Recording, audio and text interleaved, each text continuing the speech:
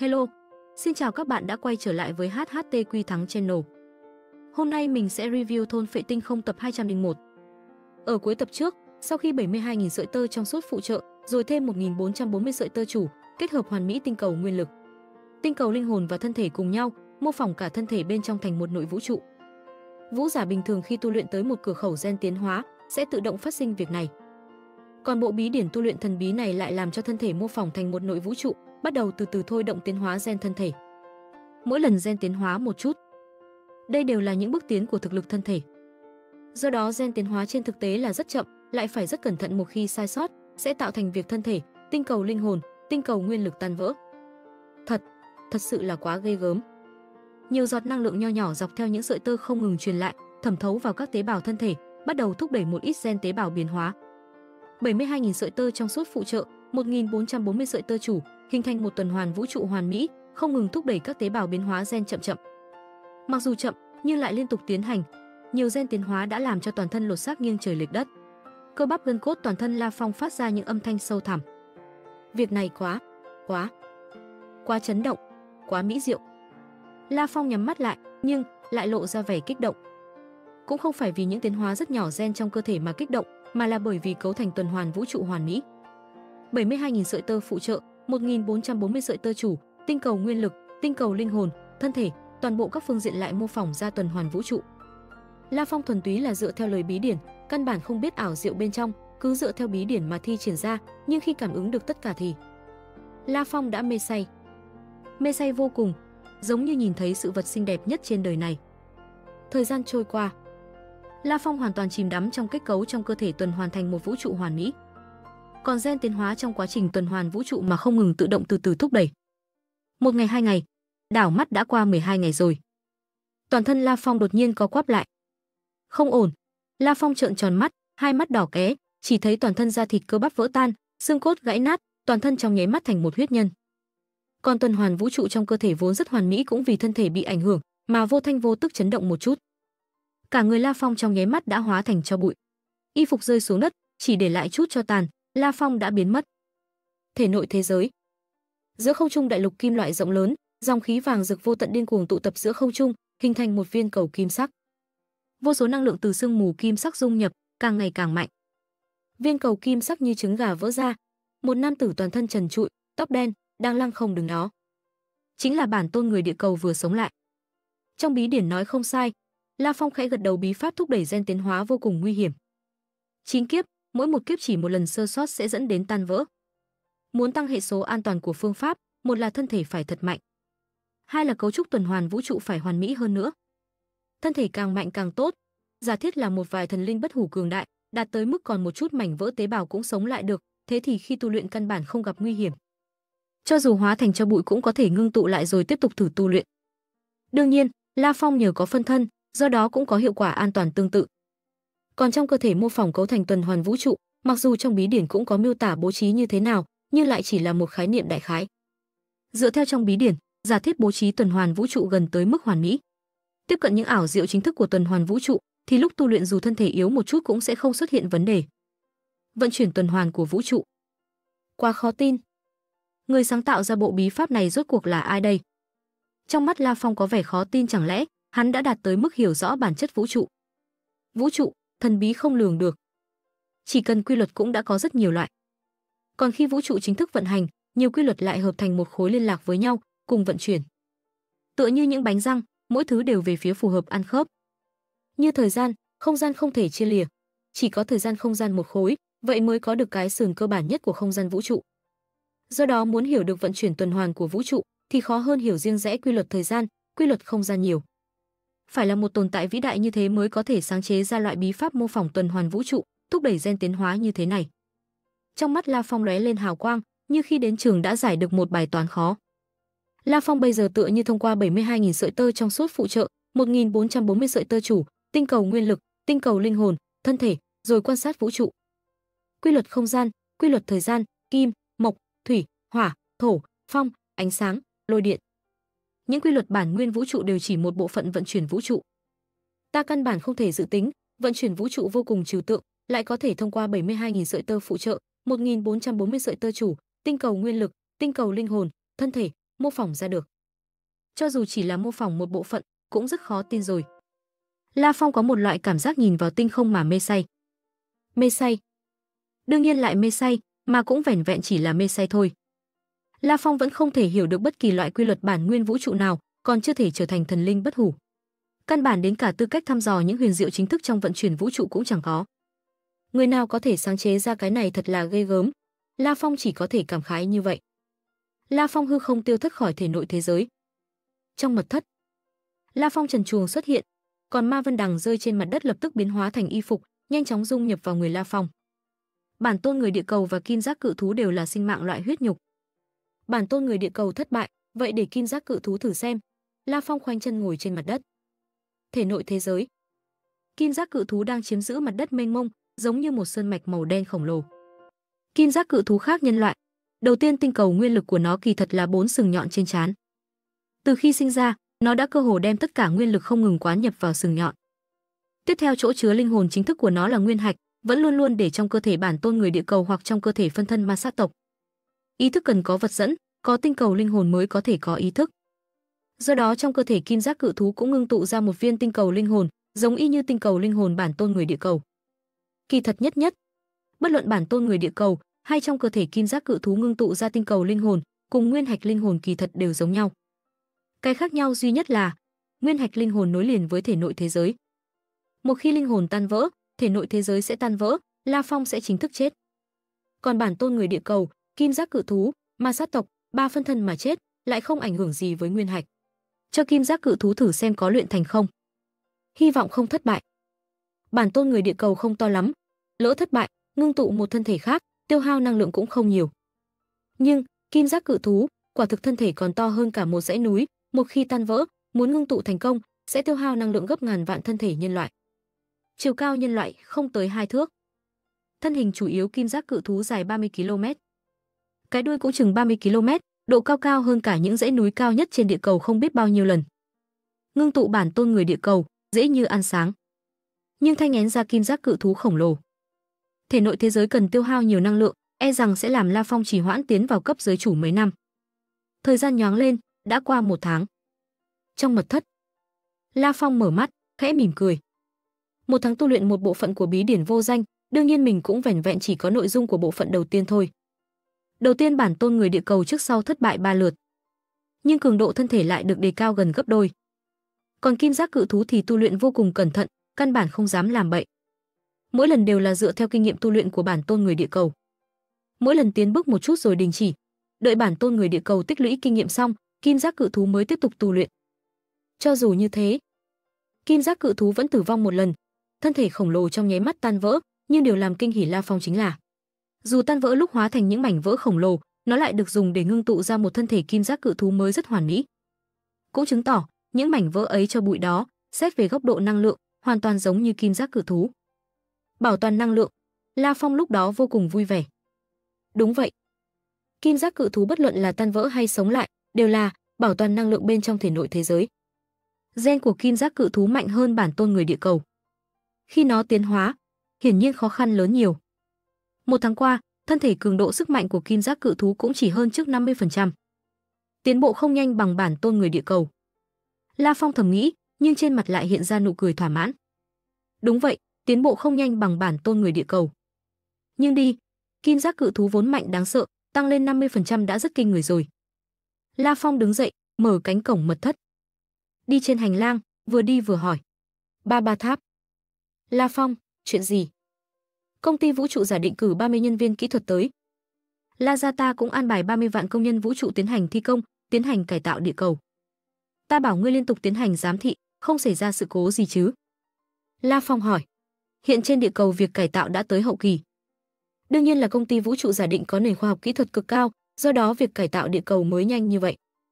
Đương nhiên không xảy ra sự cố, ta đã đưa trên 1.000 vạn người máy nhỏ hơn cả mũi gắn vào người những công nhân thi công, tiến hành giám sát liên tục.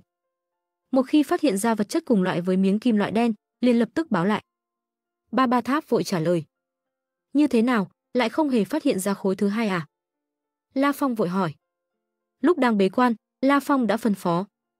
Rất hiển nhiên mình tìm được mảnh kim loại đen khiếm khuyết, ít nhất nội dung bên trong bí điển cũng vẻn vẹn chỉ là bộ phận thứ nhất, tám bộ phận phía sau đều khiếm khuyết. Không tìm được. Ba Ba Tháp trả lời. Như vậy, tiến hành chế tạo người máy thăm dò đại quy mô. La Phong mắt lóe sáng, bí điển này là thứ bảo vật cực quý. La Phong xem ra, e rằng nó quý hơn bất kỳ bảo vật nào khác mà mình tìm được. Ngươi không chế tạo kịp, cứ đặt hàng sản xuất hàng loạt những người máy thăm dò loại nhỏ, tiến hành tìm kiếm đại quy mô cả địa cầu cho ta. Hiểu rồi. Ba Ba Tháp La Phong căn bản không nghĩ đến ở quê nhà địa cầu của mình mà có thể tìm được chân quý vật phẩm như miếng kim loại đen này. Hơn nữa căn cứ theo suy đoán, mình cũng vẻn vẹn chỉ tìm được một bộ phận vỡ vụn, rất có thể có những bộ phận khác cũng còn trên trên địa cầu. Theo lệnh của La Phong, bây giờ đơn đặt hàng đã nhanh chóng được đặt. Vô số kể người máy thăm dò loại nhỏ được vận chuyển tới một tinh cầu khoáng vật rất gần với khu vực hư vô địa cầu, tiến hành giao tiếp. Lập tức phi thuyền La ra đưa hàng loạt người máy thăm dò trở lại địa cầu. Phương pháp trở lại hệ mặt trời từ ám vũ trụ thông qua việc che giấu tọa độ không gian bí pháp thuộc loại tuyệt mật của La Gia. Khi ba ba tháp khống chế vô số người máy thăm dò loại nhỏ, chỗ nào cũng giải khắp, từ các đại lục cho tới hải dương, bắt đầu thăm dò thì. Trong ám vũ trụ, một luồng lưu quang màu đen cấp tốc phi hành trong ám vũ trụ yên tĩnh không tiếng động, tốc độ đã vượt qua tốc độ ánh sáng. Đột nhiên tốc độ lưu quang màu đen bắt đầu không ngừng hạ xuống. Chẳng mấy chốc, mắt thường đã có thể thấy rõ, đó là một sinh vật hình người. Hắn bao phủ trong chiến giáp tím cổ kính, chỉ thoáng có thể thấy đôi mắt từ mặt nạ bảo hộ của mũ trụ. Thân thể phi hành trong ám vũ trụ. Đây cơ hồ là ký hiệu của thần linh bất hủ. Đương nhiên trong vũ trụ, thỉnh thoảng cũng có một vài chủng tộc có cường giả giới chủ đỉnh phong cường đại cũng có thể tiến hành xuyên toa vũ trụ, đương nhiên số lượng cực nhỏ. Dùng không gian bí pháp che giấu tọa độ vũ trụ. Thanh âm khàn khàn vang vọng khắp chung quanh không gian ám vũ trụ. Thủ đoạn thật rất bình thường, tiện tay là phá giải được, nhưng đã không thể cho công ty vũ trụ giả định phát hiện ra dấu vết thì không thể phá giải. Vậy muốn xuyên toa vũ trụ, chỉ có thể bỏ thêm chút thời gian. Cường giả chiến giáp tím từ từ phi hành, con ngươi u lãnh càn quét bốn phía không gian. Phương viên vạn dặm không gian vũ trụ chung quanh đều bị ánh mắt hắn nhìn mà rung lên. Không gian thoáng vặn vẹo, biến ảo. Cường giả chiến giáp tím cũng trở nên mơ hồ không rõ, đồng thời hắn cũng không ngừng di động biến ảo vị trí. Ước chừng qua nửa giờ, cường giả chiến giáp tím luôn luôn trong trạng thái di động đột nhiên dừng lại. Cùng lúc, ám vũ trụ đã bài xích cường giả chiến giáp tím ra khỏi ám vũ trụ.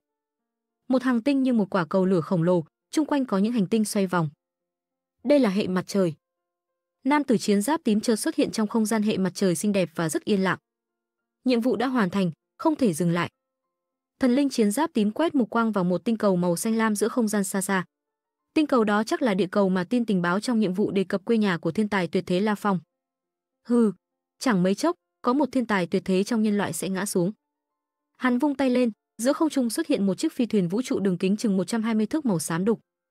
Thần linh chiến giáp tím trong nháy mắt hóa thành một luồng lưu quang màu đen, chẳng mấy chốc đã gia tốc thân thể tới tốc độ ánh sáng, biến mất khỏi nguyên không gian vũ trụ.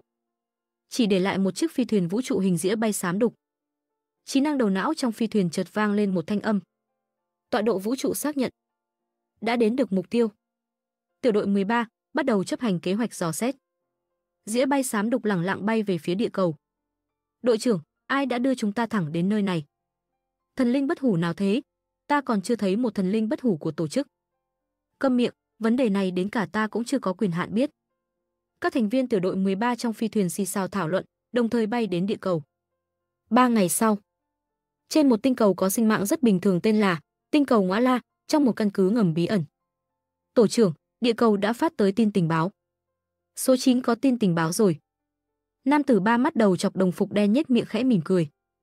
Trải qua phiên dịch 402 lớp liên hoàn, cùng với việc thay đổi đối ứng với vị trí tọa độ vũ trụ, nội dung tình báo là bẩm đội trưởng, như đã đoán trước, tình huống rất gay go. Địa cầu bây giờ đã hoàn thành được cải tạo cho an toàn. Tiểu đội 13 chúng ta không thể tiếp cận La Phong, rồi ám sát La Phong được. Nam tử mặc đồng phục màu bạc cung kính nói. Nhân loại bảo vệ thiên tài của họ luôn luôn rất kỹ. Nam tử đồng phục đen đầu chọc ba mắt mỉm cười nói. Hắn vốn không định ám sát ngay bây giờ. Mỗi lần giết một siêu thiên tài tuyệt thế trong 1008 quốc gia vũ trụ, tựa như sẽ đánh động cả một mạng lưới. Công ty vũ trụ giả định khẳng định sau khi chuyện xảy ra sẽ điều tra càn quét đại quy mô. Truyền lệnh. Nam tử đầu chọc ba mắt đồng phục đen mở lời.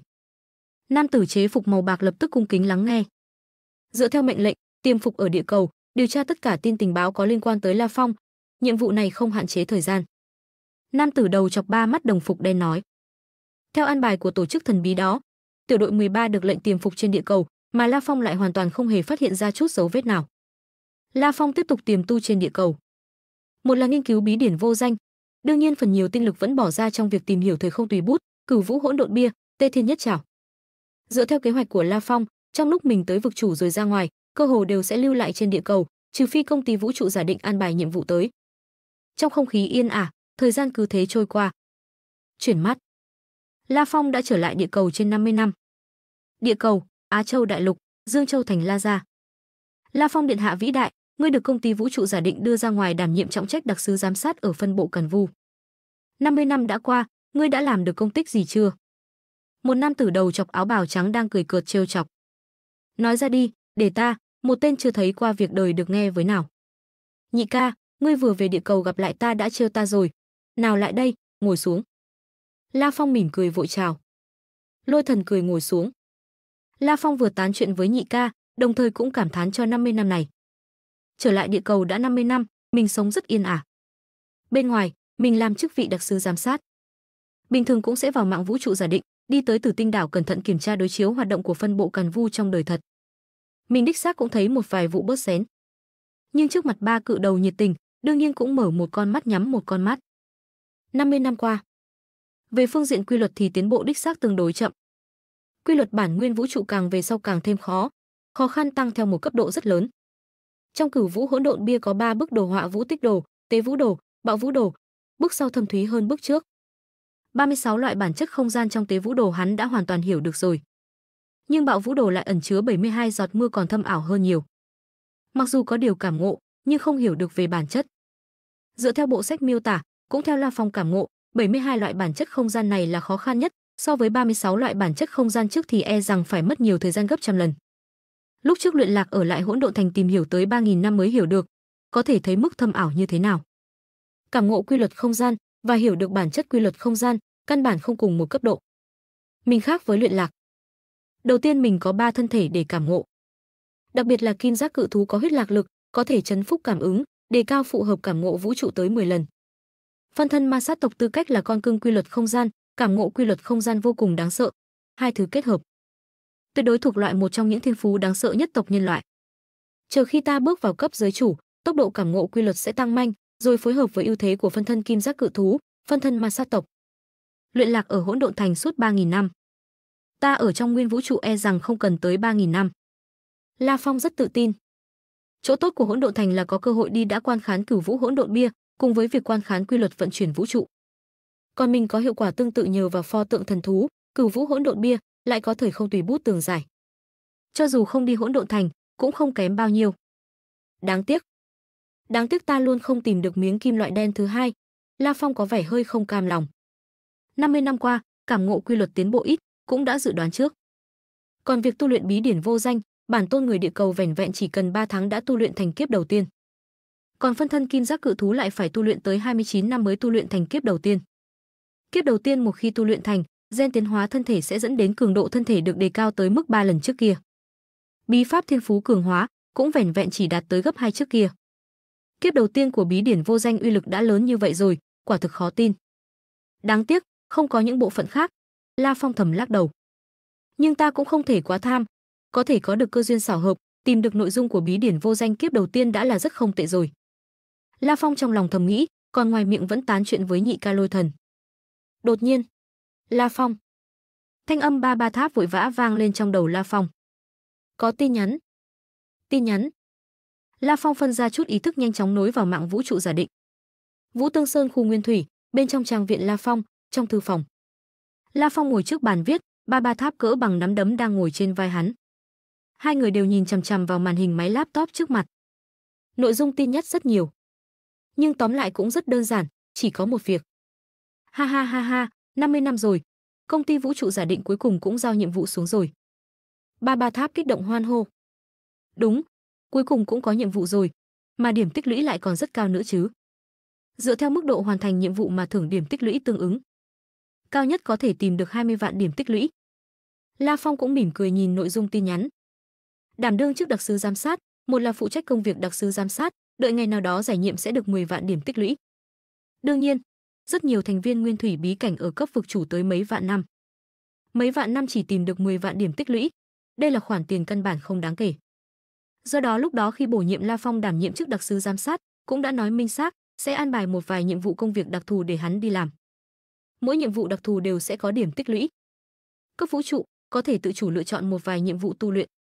Cấp vực chủ lại chỉ có thể lặng lẽ chờ đợi công ty vũ trụ giả định đưa nhiệm vụ công việc.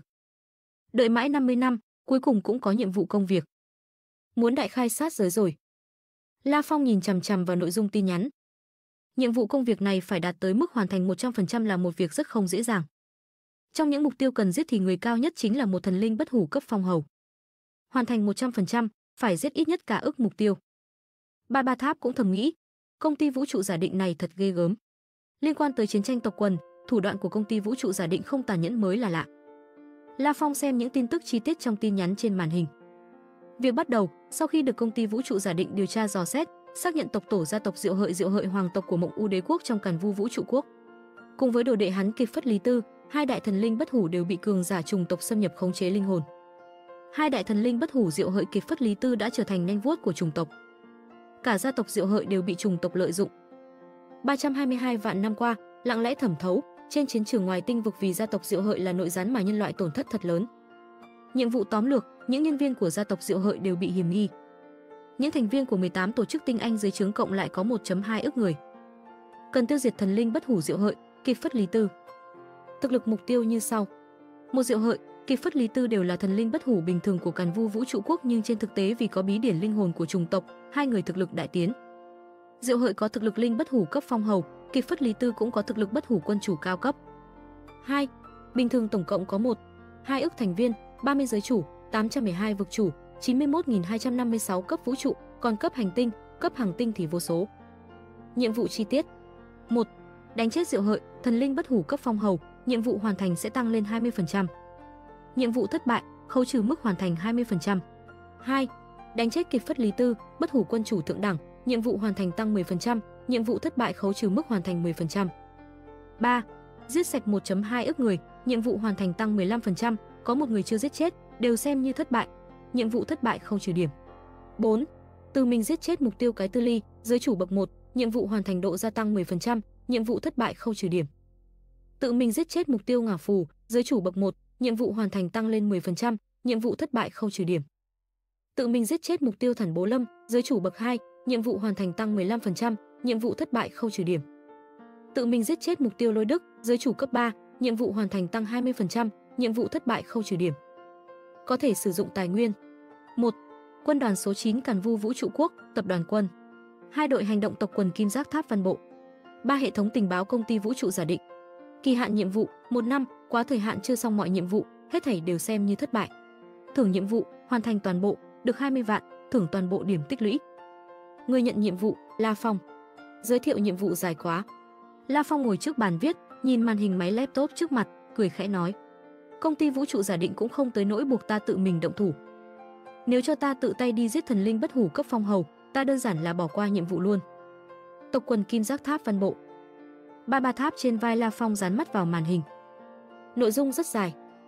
Ngoại trừ một vài thứ cơ bản nhất, còn có những giới thiệu về quân đoàn số 9 cùng với tộc quần Kim Giác Tháp văn bộ. Lần này cần giết 1.2 ức người, một người khẳng định không làm gì được. La Phong trầm thấp nói, cho quân đoàn số 9 động thủ là tốt nhất. Còn đối phó với hai vị thần linh bất hủ, muốn đánh bại thì dễ dàng. Còn muốn đánh chết thần linh bất hủ là một việc rất khó khăn. Vừa vặn lại có đội hành động tháp văn bộ. Tập đoàn quân số 9 rất mạnh. Đội hành động tháp văn bộ là tiểu đội thần linh bất hủ vũ lực đỉnh cao. Việc này không nên chậm trễ, ta chuẩn bị hôm nay sẽ xuất phát tiến về Hồng Thần Tinh của Mộng U Đế quốc, hội hợp với người tộc quần Kim Giác. La Phong trịnh trọng nói. Cùng ngày La Phong từ biệt thê tử nhi tử, cha mẹ, đệ đệ, rồi lặng lẽ dẫn thần linh bất hủ địch luân cùng với năm tên giới chủ, đáp vẫn mặc tinh hào ly khai địa cầu. Phi thuyền vẫn mặc tinh hào bay trong ám vũ trụ với tốc độ 50 lần tốc độ ánh sáng. Trong phòng điều khiển phi thuyền, hai người La Phong, Địch Luân đều đang ngồi. Địch Luân, với kinh nghiệm của ngươi, lần này ta phải làm nhiệm vụ như thế nào mới có thể đạt được mức hoàn thành cao nhất? Tốt nhất là hoàn thành 100%. La Phong nhìn Địch Luân đầu chọc hắc bào trước mặt hỏi. Nói về kinh nghiệm, nói về kiến thức, mình còn thâu địch luân rất nhiều. Lần đầu tiên chấp hành nhiệm vụ, La Phong cũng không dám khinh thường. Bốn phần nhiệm vụ. Địch Luân trịnh trọng nói. Ngược lại phiền phức nhất chính là giết 1.2 ức mục tiêu, dù sao cũng quá nhiều người. Một khi động thủ thật, sẽ khiến cho các mục tiêu tổ chức chạy trốn. 1.2 ức người chạy trốn loạn trong vũ trụ, muốn giết sạch mỗi người là việc căn bản là không thực tế. La Phong khẽ gật đầu. Vũ trụ mênh mông. Tùy tiện tránh trốn trong một nơi nào đó trong vũ trụ, dù muốn tìm cũng rất khó. Do đó, bốn phần nhiệm vụ thì việc đánh chết 1.2 ức mục tiêu là phải vô cùng cẩn thận. Địch Luân nói, không động thủ thì thôi, nếu muốn động thủ, phải nhanh như thiểm điện, trong thời gian cực ngắn tê giết sạch 1.2 ức mục tiêu. Hiểu. La Phong gật đầu. Còn đánh chết hai đại thần linh bất hủ diệu hợi và kịch phất lý tư cũng có nguy hiểm nhất định. Địch Luân mày cau mày, đôi mắt ánh lên vẻ u lãnh. Bất kỳ một thần linh bất hủ nào cũng đều cực khó giết chết, chứ đừng nói một thần linh bất hủ cấp phong hầu. Hơn nữa một khi tin tức tiết lộ ra khiến cho đối phương chạy trốn trước, thông qua thần quốc truyền tống, có thể trong nháy mắt truyền tống tới một chỗ cực kỳ xa xôi trong vũ trụ, muốn tìm cũng không làm được. La Phong gật đầu lia lịa. 1.2 úc con người, tuyệt đối không thể sơ ý. Bốn phần nhiệm vụ, phần đánh chết Diệu Hợi, kịp phất giáp tư, nếu thất bại sẽ bị khấu trừ mất 30%. Địch Luân trịnh trọng nói. Chẳng những không hoàn thành, ngược lại còn trừ bớt. La Phong gật đầu. Giả thiết mình hoàn thành hai phần nhiệm vụ khác.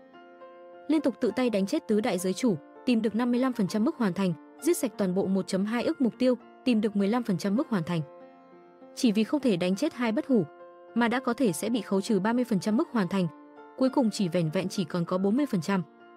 Cuối cùng nên tự tay đánh chết. Địch Luân cười lớn. Kỳ thật bốn giới chủ, đối với công ty vũ trụ giả định mà nói thì không trọng yếu gì cả. Nhưng thực lực của họ cũng vừa vặn cho ngươi luyện tập. Xem như khảo nghiệm về thực tế chiến đấu của ngươi. La Phong gật đầu. Bốn giới chủ, hai giới chủ bậc 1, một giới chủ bậc 2, một giới chủ cấp 3.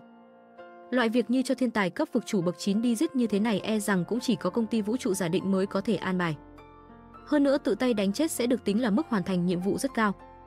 À, đánh chết bốn người này, có thể tìm được mức hoàn thành còn cao hơn đánh chết hai thần linh bất hủ. Địch Luân cười hà hà. Bất luận La Phong hay Địch Luân, chẳng ai bất mãn về việc công ty vũ trụ giả định đồ lục 1.2 ức người, tuy cũng hơi chấn động. Vì La Phong và Địch Luân, một người có truyền thừa ký ức, một người tuổi thọ rất dài, địa vị rất cao. Do đó hai người đều hiểu rõ trong vũ trụ mênh mông, việc tranh đấu tộc quần thảm liệt như thế nào. Cho dù một vài cường giả tộc quần khác tiềm phục trong nhân loại, một khi lộ ra, chạy trốn cũng trốn không thoát. Phát điên ra là dường như đồ lục giết sạch, e rằng có thể giết chết cả vạn ước dân cư. Do đó, một khi phán định là phản bội cả tộc nhân loại, làm việc cho tộc quần khác, hết thảy đều giết không tha. Điện hạ, từ đây tới Hồng Thần Tinh, với tốc độ vẫn mặc tinh hào thì đại khái cần 30 ngày.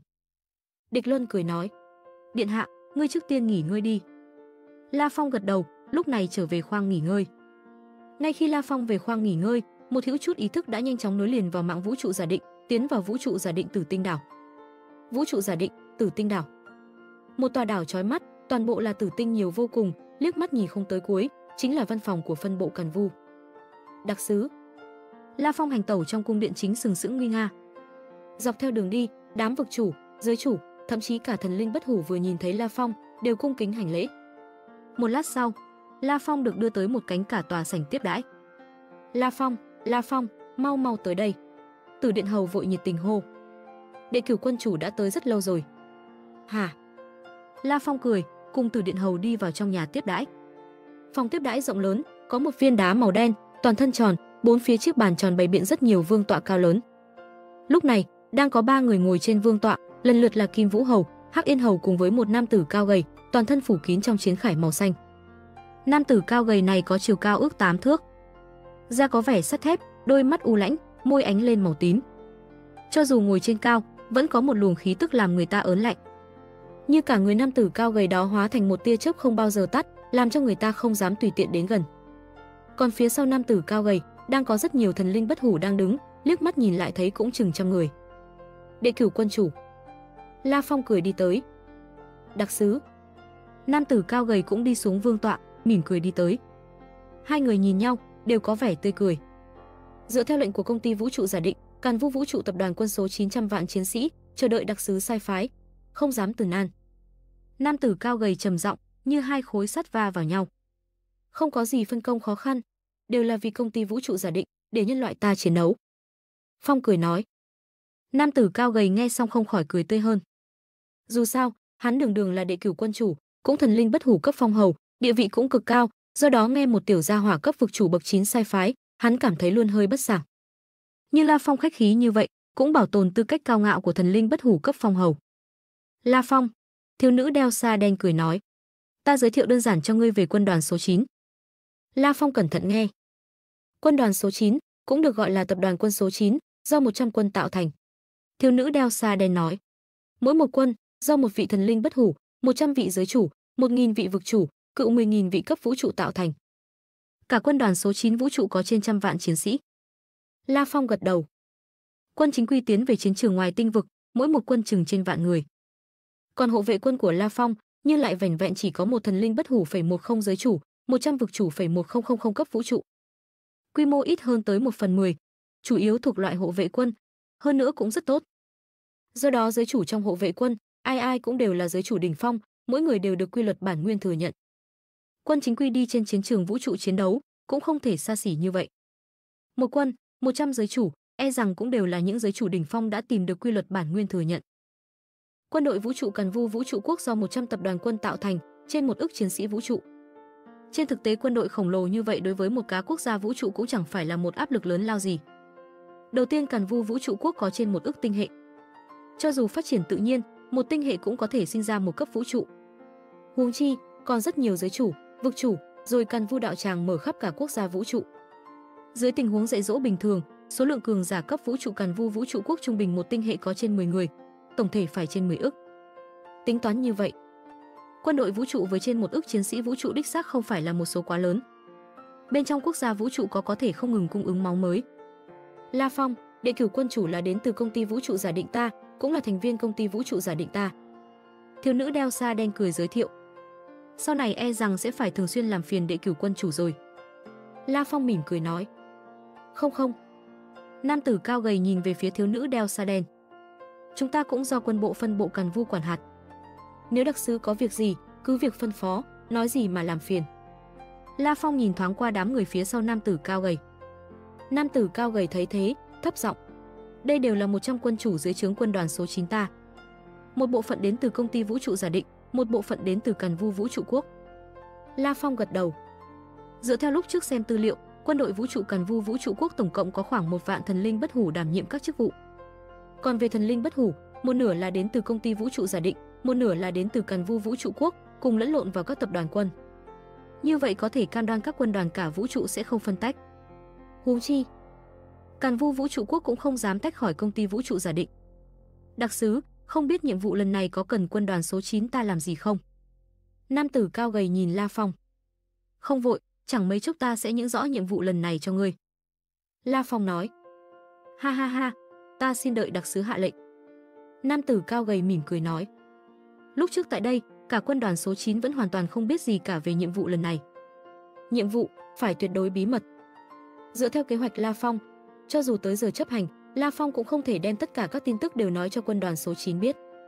Quân đoàn số 9 chỉ là một tài nguyên mà hắn có thể sử dụng, là một quân cờ mà thôi. Thời gian trôi qua, La Phong thông qua mạng vũ trụ giả định, bắt đầu liên lạc với hệ thống tình báo công ty, xác nhận tin tức về việc giết 1.2 ức mục tiêu. Sau đó nhanh chóng chế định ra những kế hoạch tác chiến. Rồi đem những tin tức về 1.2 người này, một vài địa điểm tinh cầu của họ, nói hết cho đệ cửu quân chủ. Một khi ra lệnh, sẽ phong tỏa thẳng tinh cầu, tiến hành bắt ba ba trong dọ. Cần phải làm tới mức không không để lại một người nào cả. Toàn bộ đồ lục sạch sẽ.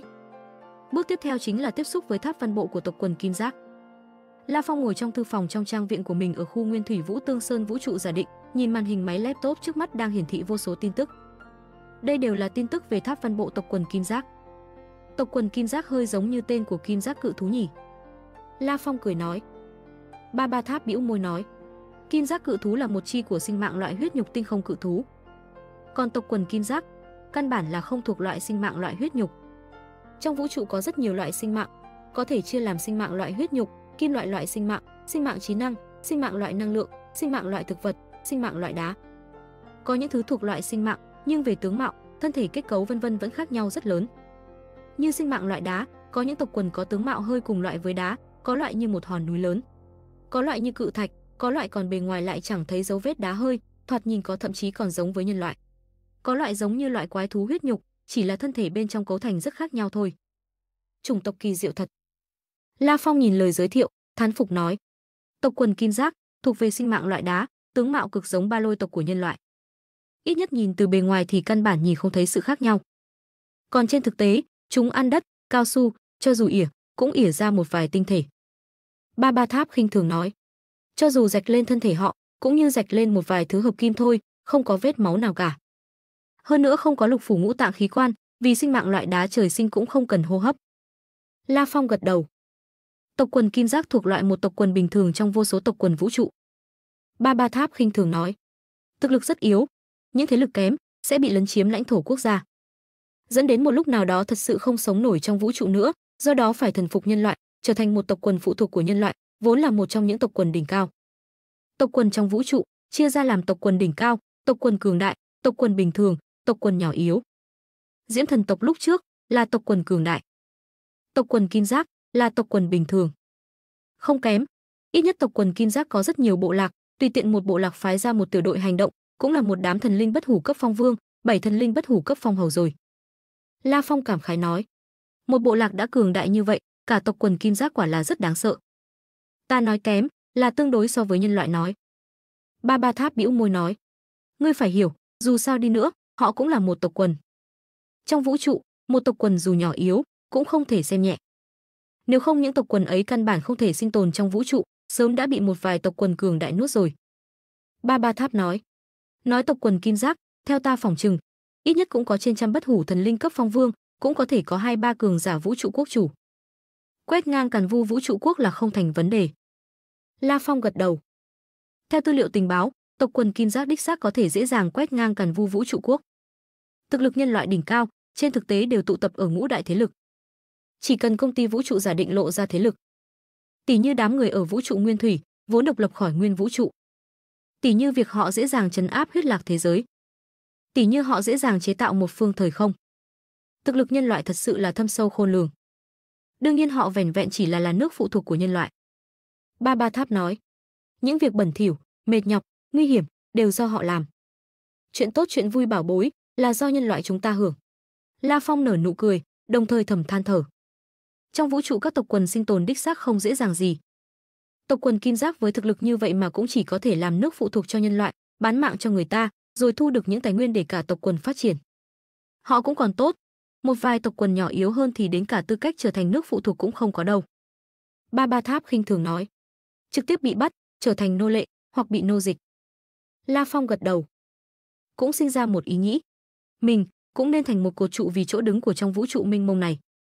Làm cho vô số người trong 1008 quốc gia vũ trụ trong lãnh thổ quốc gia nhân loại có thể sống tương đối hòa bình.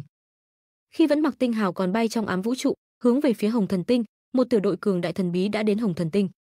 Hồng Thần Tinh, một tinh cầu có sinh mạng rất bình thường, là một điểm đóng quân của công ty vũ trụ giả định.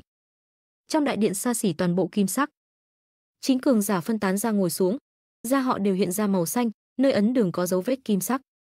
Trong khay cơm trước mặt họ đều bày biện những vật liệu dài dài, tròn tròn tinh xảo. Trong đó, một thanh niên mặc chiến giáp màu hoàng kim cầm một kim loại hình tròn, ăn nhồm nhòm, tán thưởng. Vị này thật không tệ, vị hợp kim phối hợp rõ là tuyệt mỹ. Mọi người nhìn xem tư liệu này. Một thanh âm giả nua vang lên. Một lão giả ngồi ghế đầu, toàn thân được bọc kín trong áo giáp kim sắc, chỉ là lộ ra một đôi mắt già nua, thấp giọng nói: "Đây là người mà nhân loại lần này an bài lãnh đạo chúng ta, cũng yêu cầu chúng ta nghe lệnh của nhân loại này." Tạp Thập Na, đợt lát nữa ngươi hãy ăn, trước hết nhìn xem tư liệu. Dạ, sư phụ. Thanh niên mặc chiến giáp gật đầu lia lịa. Bảy tên thần linh bất hủ cũng đều nhìn về phía hình ảnh trên quần sáng tư liệu. La Phong. Thanh niên mặc chiến giáp lẩm bẩm. Đến từ một tinh cầu nhà quê địa cầu, khi còn là thanh niên trẻ tuổi, cấp hàng tinh đã tham gia thiên tài chiến công ty vũ trụ giả định, nhất thời bỗng nhiên nổi tiếng. Trong quyết đấu đỉnh cao giữa các thiên tài tuyệt thế của 1008 quốc gia vũ trụ, đạt được top 10, tiến vào thái sơ bí cảnh. Này, sư phụ, người kia rất lợi hại há. Tiếp tục xem. Lão giả quát khẽ. Thanh niên mặc chiến giáp ngoan ngoãn tiếp tục xem. Thanh niên mặc chiến giáp trừng mắt. Lần đầu tiên tham gia tư cách chiến đã tiến vào nguyên thủy bí cảnh. Thuộc loại thiên tài tuyệt thế của nhân loại mấy vạn kỷ nguyên cũng khó gặp. Đảm nhiệm chức đặc sứ giám sát nữa. Chật chật, đã đảm nhiệm đặc sứ giám sát 50 năm rồi mà không một chút tin tức mới nào nữa. Tất cả mọi người đã thấy rồi đó. Lão giả nhìn quanh bốn phía, lập tức ánh mắt nhìn thanh niên mặc chiến giáp. Tạp Thập Na, lần này ta theo lệnh thủ lĩnh mang ngươi tới đây. Nhưng, ngươi vẻn vẹn chỉ là có thực lực giới chủ. Do đó ngoan ngoãn nghe ngoan ngoãn nhìn, đừng để chúng ta gặp phiền phức, biết không? Hiểu rồi, sư phụ. Thanh niên mặc chiến giáp gật gật đầu, nhưng mắt lại láo liên liên tục. Lão già không còn nhìn đệ tử nữa, mà cất cao giọng nói. Từ tư liệu phán đoán, không phải là thiên tài bình thường của nguyên thủy bí cảnh, tốc độ tiến bộ rất kinh người. Cho dù tính luôn cả các giới chủ nhân loại ở nguyên thủy bí cảnh công ty vũ trụ giả định, thì tiềm lực của La Phong cũng phải được xếp trong mấy hạng đầu. Bảy thần linh bất hủ thuộc tháp văn bộ của tộc quần Kim Giác đều gật đầu. Dựa theo pháp quy trong tộc, nhân loại thiên tài tuyệt thế như thế, tương lai sẽ cơ hội làm chức lãnh đạo nhân loại, cần phải giao hảo. Lão giả bao phủ trong chiến khải kim sắc, thanh âm dần dần trở nên sắc bén, tiếng leng keng như đao kiếm va chạm. Nhiệm vụ lần này là một cơ hội tuyệt vời để kết giao với nhân loại La Phong. Tộc quần Kim Giác chúng ta phải sinh tồn, cho dù rất khó kết giao với lãnh đạo nhân loại, cũng phải kết giao với lãnh đạo tương lai của họ. Tất cả vì tộc quần. Tất cả vì tộc quần. Bảy thần linh bất hủ, kể cả thanh niên mặc chiến giáp đều nghiêm mặt đáp. Hưởng thụ bữa yến đi. Lão giả mặc chiến khải kim sắc nói. Những thành viên tinh anh đội ngũ tháp văn bộ bắt đầu ăn hợp kim và những hóa chất đặc biệt do công ty vũ trụ giả định chuyên môn chế ra cho họ, tiếng cười rộn rã. Vũ trụ ngoài Hồng Thần Tinh vô cùng yên lặng, đột nhiên không gian rung động, rồi chợt xuất hiện một chiếc phi thuyền vũ trụ hình tam giác huyết sắc. Điện hạ, phía trước là Hồng Thần Tinh. Trong phòng điều khiển, Địch Luân chỉ ra phía trước. La Phong đứng trước. Sau lưng có năm giới chủ hộ vệ đang đứng. La Phong mỉm cười gật đầu. Đi, đi gặp các cường giả bất hủ bộ lạc kim giác thôi. Vẫn mặc tinh hào nhanh chóng tiến vào tầng khí quyển Hồng Thần Tinh, mở ra hệ thống ẩn thân, không làm cho hệ thống cảnh giới tinh cầu Hồng Thần Tinh và bất kỳ ai trên tinh cầu này phát hiện. Cuối cùng vẫn mặc tinh hào đã hạ xuống tới trú điểm của công ty vũ trụ giả định đóng tại tinh cầu này. Trong trang viện rộng lớn, chín tộc nhân kim giác tộc đang đứng, nhìn một chiếc phi thuyền vũ trụ hình tam giác huyết sắc đáp xuống. Đây là phi thuyền vũ trụ cấp F. Thanh niên mặc chiến giáp đôi mắt lóe sáng, làn da màu xanh kích động đã thoáng lóe ra những tia ngân quang. Hơn nữa hẳn là chất liệu xích hỗn đồng mẫu. Một chiếc phi thuyền vũ trụ toàn thân bằng xích hỗn đồng mẫu như vậy, cần tiêu phí biết bao nhiêu tài nguyên, La Phong này rõ là một tài chủ. Bảy thần linh bất hủ cấp phong hầu tháp văn bộ tộc quần kim giác trong mắt cũng đầy vẻ khát vọng. Chỉ có lão giả mặc chiến khải kim sắc mỉm cười nhìn tất cả. Lúc này, lão giả không hề đội mũ trụ. Nỗ lực nhiều lên, chờ các ngươi có thực lực cấp phong vương, trong tộc cũng sẽ giúp các ngươi một chiếc phi thuyền vũ trụ cấp F. Lão giả nhìn bảy tộc nhân thần linh bất hủ cấp phong hầu bên cạnh nói. Tư cách là một tộc quần phụ thuộc. Tài nguyên do tộc quần kim giác tìm được đương nhiên thua xa nhân loại. Nhân loại, thần linh bất hủ cấp phong hầu cơ hồ người người đều có thể có một chiếc phi thuyền vũ trụ cấp F. Về phần cấp phong vương, mấy trăm vạn đơn vị hỗn nguyên đối với họ chỉ là tiền xu. Nhưng tộc quần kim giác lại khác. Bên trong tộc quần kim giác, bất hủ thần linh cấp phong vương có thực lực mới có thể có mỗi người một chiếc phi thuyền vũ trụ cấp F Về phần thần linh bất hủ cấp phong hầu, chỉ có một số cực nhỏ mới có được quang vinh đó. Cửa khoang mở ra. Dưới cái nhìn chăm chú của chín tộc nhân tộc quần kim giác, một thanh niên tóc đen mặc chiến khải màu bạc dẫn một thần linh bất hủ hắc bảo hộ vệ. Năm giới chủ hộ vệ theo cửa khoang bay ra, rồi lập tức chiếc vẫn mặc tinh hào khổng lồ đã hư không tiêu thất. Tộc quần kim giác tháp văn bộ trưởng lão tự phiên kỳ và đội ngũ nên đón đặc sứ nhân loại La Phong điện hạ. Lão giả mặc chiến khải kim sắc gật đầu chào La Phong. Dấu vết kim sắc nơi ấn đường hắn cũng theo lóe lên. Tám người bên cạnh hắn toàn bộ đều khom người, đồng thời dấu vết kim sắc nơi ấn đường cũng lóe lên. Tự phiên kỳ trưởng lão, bất tất khách khí. La Phong cười đi tới, đồng thời quét một quang qua tám người khác ở đây, nhíu mày. Trưởng lão, các ngươi sao lại có thêm một người nữa? La Phong điện hạ. Lão giả mặc chiến khải kim sắc mỉm cười nói, chỉ về phía thanh niên mặc chiến giáp Biêu Hãn. Đây là con trai độc nhất của thủ lĩnh Tháp Văn Bộ tên là Tạp Thập Na. Từ khi sinh ra cho tới bây giờ, đã trên 10 vạn năm, nhưng hắn lại chưa bao giờ ly khai quê nhà. Lần này hắn theo theo tiểu đội chúng ta ra ngoài xem vũ trụ, lấy thêm kiến thức, mong rằng điện hạ thứ lỗi cho. La Phong gật đầu cười, nhìn về phía thanh niên mặc chiến giáp. Tạp Thập Na, rất vui có thể gặp ngươi. Thanh niên mặc chiến giáp trong mắt nhất thời có vẻ hưng phấn, trên làn da màu xanh lóe ra ngân quang, rồi nói: "La Phong điện hạ, gặp ngươi, ta cũng rất kích động, rất vui, cảm ơn ngươi, cảm ơn ngươi." La Phong rõ ràng phát hiện ra thanh niên mặc chiến giáp nói chuyện tựa hồ hơi ngu đần. Cũng không có gì khó hiểu. Trong vũ trụ sinh mạng loại huyết nhục là một chủng loại sinh mạng cực mạnh trong rất nhiều chủng loại sinh mạng. Đó là vì trí tuệ của sinh mạng loại huyết nhục cơ hồ đều cực cao. Như sinh mạng loại thực vật, e rằng dù cho sinh mạng thực vật cấp giới chủ cũng không có tư duy nhanh bằng một người thường. Như tộc quần kim giác là một sinh mạng loại đá, ý nghĩ vốn không đủ thông minh. Đương nhiên trí tuệ cấp vực chủ, cấp giới chủ cũng không thua gì người thường chút nào. Nhưng để họ học tập tiếng thông dụng vũ trụ của nhân loại, rồi nói ra, nên có vẻ lúng túng cũng không có gì khó hiểu. La Phong điện hạ, chúng ta vào bên trong, rồi thương lượng quá trình làm nhiệm vụ lần này đi. Lão giả mặc chiến khải kim sắc nói. La Phong gật đầu, cùng lão giả mặc chiến khải kim sắc sóng vai đi về phía phòng khách. Còn Địch Luân và bảy tên thần linh bất hủ cấp phong hầu khác cũng sóng vai vào trong. Bên trong phòng khách, La Phong và một đám người theo thứ tự ngồi xuống. Nhìn tộc nhân kim giác tộc quần trước mắt, tướng mạo hình dạng vẫn cực giống nhân loại. Nhưng khi cẩn thận quan sát, vẫn có thể cảm giác ra. Họ khác với nhân loại, tỉ như thanh âm nói chuyện, nghe như sắt thép và chạm. Căn cứ theo nhiệm vụ mà công ty vũ trụ giả định cho chúng ta, lần này là phải đối phó với hai thần linh bất hủ. Một người là cấp phong hầu tên gọi Diệu Hợi, một người là bất hủ quân chủ trên cấp bình thường tên là Kiệt Phất Lý Tư. Lão giả mặc chiến khải kim sắc cười khẽ nói: "Chúng ta đã thương lượng rồi, ta và ba cấp phong hầu tộc nhân đối phó với mục tiêu cấp phong hầu Diệu Hợi. Còn bốn tộc nhân cấp phong hầu khác liên thủ đối phó với bất hủ quân chủ Kiệt Phất Lý Tư, tuyệt đối sẽ không để cho họ chạy thoát, nhất định có thể giết chẳng chúng thành công." La Phong cười gật đầu. Công ty vũ trụ giả định an bài đích xác xác rất không tệ, dù sao bên trong đội ngũ còn có cả một thần linh bất hủ cấp phong vương. Kỳ thật cũng không có cách nào. Đánh bại thần linh dễ dàng, nhưng đánh chết thần linh là việc rất phiền phức. Đại đa số, nhiều nhất là phong ấn thần linh bất hủ, hoặc cho làm cho thần linh bất hủ lâm vào trạng thái hôn mê. Còn chính thức muốn giết chết thần linh bất hủ, so với đánh bại thì khó hơn mấy chục lần tới cả trăm lần. Đây cũng lý do tại sao phải phái ra tiểu đội cường đại như vậy. Trưởng lão tự phiên kỳ đã an bài rồi, ta cũng không có ý kiến gì. La Phong cười nhìn tiểu đội 9 người tộc quần kim giác trước mắt.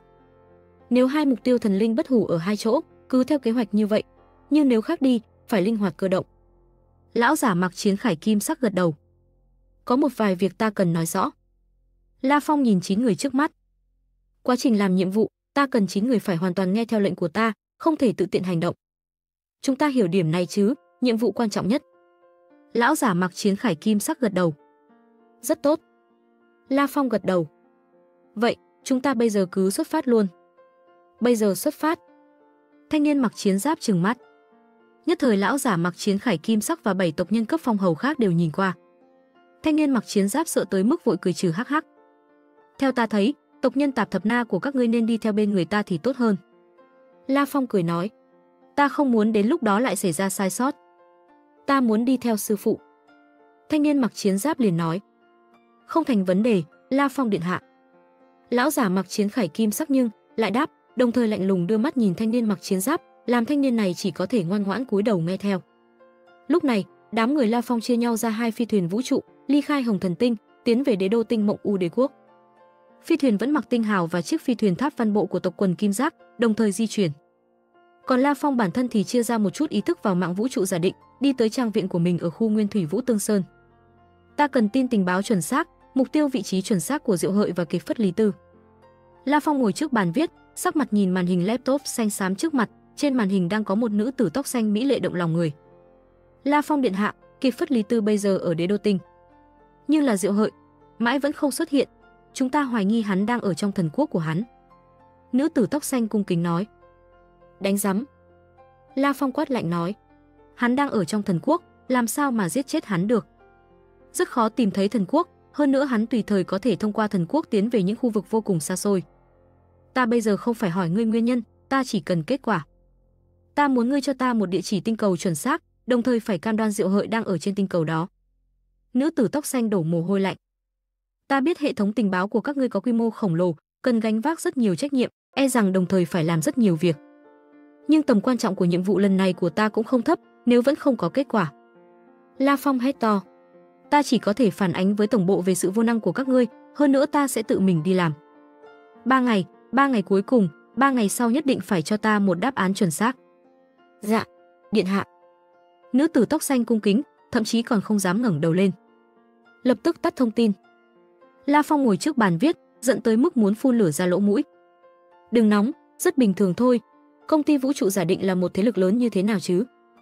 Hệ tình báo dưới trướng nó khổng lồ to lớn như thế nào?